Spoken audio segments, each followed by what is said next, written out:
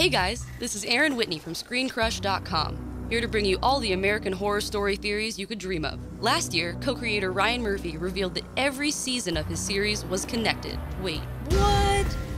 Look, it's Pepper, our very first connection. In season 4, Murphy brought back fan favorite Pepper to reveal her origin story before Asylum. The connection got even deeper when everyone's favorite evil nun, Sister Mary Eunice, showed up in Freak Show. The series made an even bigger connection with Dr. Arden.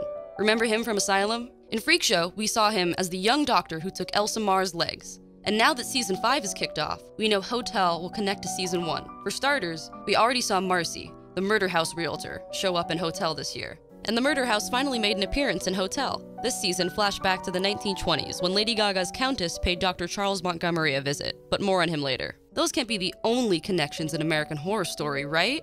Right. So here are the theories. Number 1 Dante's Inferno. This theory is far from new, but Hotel proves it even further. It goes like this. Every season of American Horror Story is based on one of the levels of hell depicted in Dante's epic poem Inferno. So in the tale, Dante journeys through the nine circles of hell, with the poet Virgil as his guide. Pretty much, we're Dante, Ryan Murphy is our Virgil. So season one, it represents the second circle of hell, lust. Here's the evidence. Ben Harmon cheated on his wife Vivien, then Moira the housekeeper tried to seduce Ben, and Patrick cheated on his boyfriend Chad. A lot of infidelity going on here. Alright, season two. Asylum represents the seventh circle of hell violence. Here we've got three layers one for murderers, one for those who committed suicide, and one for blasphemers. If you remember Briarcliff, you know that it has all of those things. For one, it houses serial killers. It also has patients who've committed sins against God, at least in the eyes of Sister Jude. I mean, you would never intentionally expose these little angels to a homosexual, would you? Oh, and she enacts a lot of violence on them so that makes sense.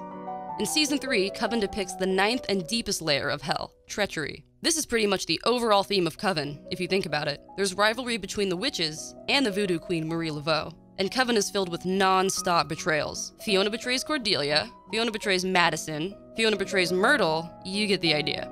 So that brings us to season 4. I knew I was about to enter the gates of hell. That would be Sarah Paulson's Bette and Dot Tattler entering the fourth circle of hell, greed. Just think of Elsa Mars' unquenchable desire for fame, which she always puts before her family of freaks, no matter how much she loves them. She kidnapped Bette and Dot and even killed her best friend Ethel when her dreams were compromised. And there's also Dandy Mott, whose thirst for murder is never enough. Finally, Season 5. So far, the Hotel Cortez is the third circle, gluttony. In Hotel, everyone is plagued by addiction addiction to drugs, alcohol, blood, and torture. Lots of torture. Oh, and this season also has a terrifying creature called the Addiction Demon, and a villain known as the Ten Commandments Killer. But season 5, like season 1, could also be read as the first circle of hell limbo. That's where the souls of the dead are trapped for eternity, paying for their sins. I'll get the shovel. You get the bleach. okay, that was just theory 1. Let's keep going. Theory number 2. This next one has to do with the cast. We've seen Jessica Lange, Sarah Paulson, and Evan Peters in almost every season. But are each of their characters connected? This theory, which I like to call the seven deadly doppelgangers, predicts that each of their characters are souls forced to suffer and relive one of the seven deadly sins they committed. So let's start off with Lange. She's played Constance Langdon, Sister Jude, Fiona Good, and Elsa Mars. Each of these women are continually plagued by the sin of envy. They're always discontent with their own situations, and they're always craving what those around them possess. All right, now Sarah Paulson. She's played Billie Dean Howard, Lana Winters, Cordelia Fox, Bette and Dot Tattler, and most recently, Sally. So, what do all of these women have in common? Despite the disadvantage of their outsider qualities, they all thrive on pride. Maybe confidence is a better word for it, but still, it's their unwavering sense of dignity that always helps each of them survive the seasons. At least so far. Alright, lastly, we have Evan Peters. His Tate Langdon, Kit Walker, Kyle Spencer, Jimmy Darling, and Mr. March are all controlled by wrath, shooting up high schools, murdering abusive mothers, holding grudges against alcoholic fathers, or just straight up murdering for sport. Their rage always erupts in violence or rebellion. So could each of these characters be the same person? Maybe American Horror Story is just about the characters from season 1 trapped in purgatory. Perhaps Ryan Murphy should have called his show American Horror Story Cloud Atlas. Alright, theory number 3 The Montgomerys. Remember Charles and Nora Montgomery from season 1? Charles was the surgeon who secretly conducted abortions in the murder house basement in the 1920s. But then in Coven, Ryan Murphy introduced us to Madison Montgomery. Madison Montgomery, movie star.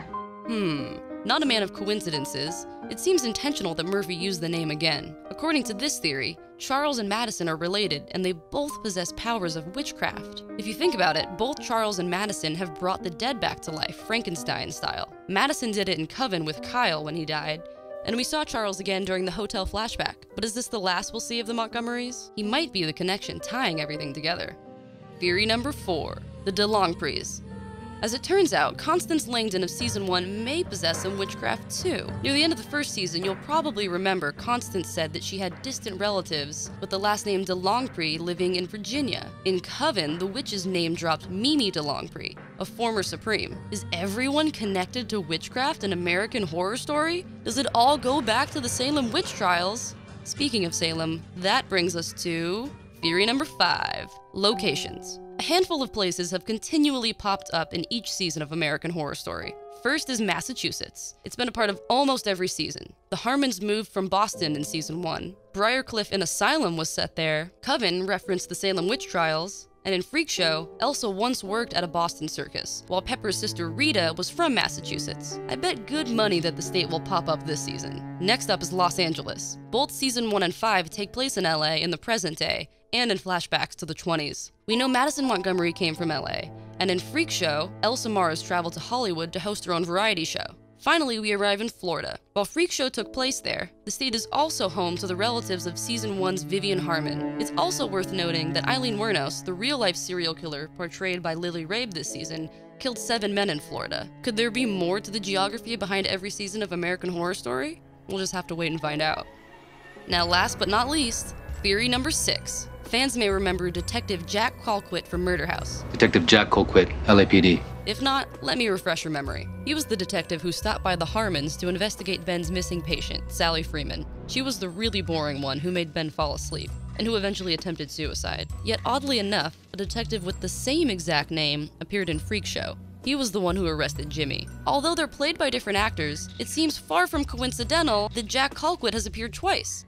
Could he be the link connecting everything in American Horror Story? Is American Horror Story all one giant nightmare Jack Colquitt is having? Or was he abducted by the aliens from Asylum and sent back in time and forward into the future as a part of some sick plan to take over the human race? Is Ryan Murphy an alien? I'll leave it at that. See you at the Cortez. Thanks for watching. If you liked this, check out another one of our video essays or one of our top 5 countdowns. Subscribe, like us on Facebook, follow us on Twitter, and get the latest movie and TV news on ScreenCrush.com.